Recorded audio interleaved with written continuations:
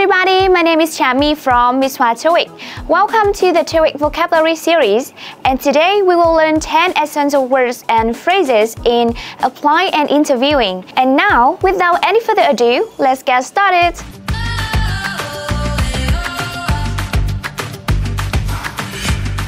Applicant Applicant Người ứng tuyển For example, All three applicants lack experience in project management and complaint handling. Vậy câu này sẽ có nghĩa là cả ba ứng viên đều thiếu kinh nghiệm trong việc quản lý dự án và xử lý khiếu nại. Application Application Đơn ứng tuyển So far, the company has received 12 applications for the data analysis position.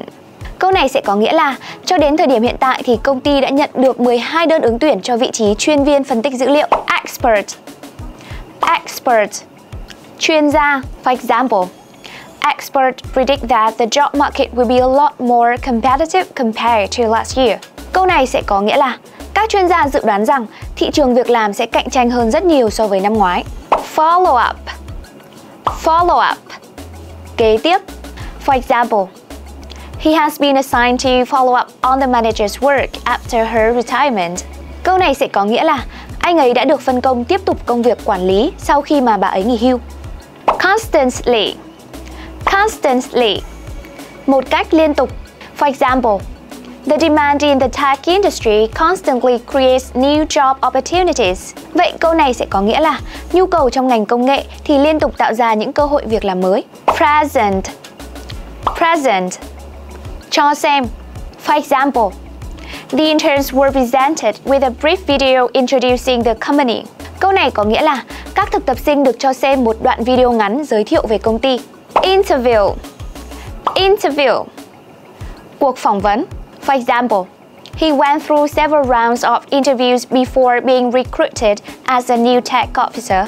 Câu này có nghĩa là anh ấy đã trải qua một vài vòng phỏng vấn trước khi được tuyển với vị trí nhân viên công nghệ mới. Hesitate Hesitate chần chừ, do dự. For example, he hesitated slightly before accepting the offer to work for the company. Câu này có nghĩa là anh ấy hơi do dự trước khi nhận lời đề nghị làm việc cho công ty. Call in Call in Yêu cầu, mời tới. For example, all applicants were called in for a final round of interview. Câu này có nghĩa là tất cả các ứng viên được mời tới cho vòng phỏng vấn cuối cùng.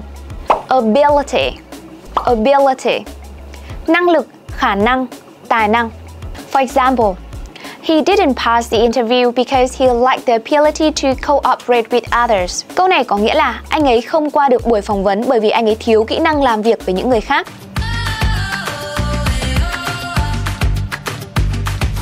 And this is the end of our lesson today. See you in the next video. Bye!